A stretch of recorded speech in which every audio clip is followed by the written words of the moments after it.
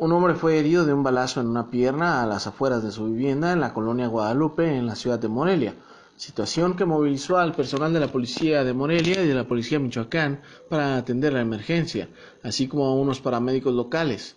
Según trascendió en la labor noticiosa, el acontecimiento fue en la calle Cuarta entre las vialidades Bautitlán y Joaquín de la Cantoya y Rico.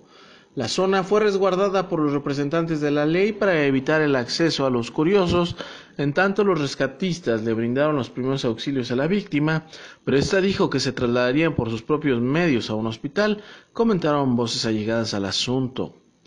Las mismas fuentes afirmaron que la lesión que padeció el ofendido no pone en riesgo su vida ni es de gravedad. Los representantes de la ley hicieron diversos patrullajes con la finalidad de capturar a quien atacó al ciudadano, pero el cierre de esta nota no había reporte de detenciones relacionadas con el asunto. Del caso se informó al personal de la Fiscalía General del Estado para que éste hiciera las actuaciones respectivas. Mandos policíacos añadieron que el hechor está plenamente identificado.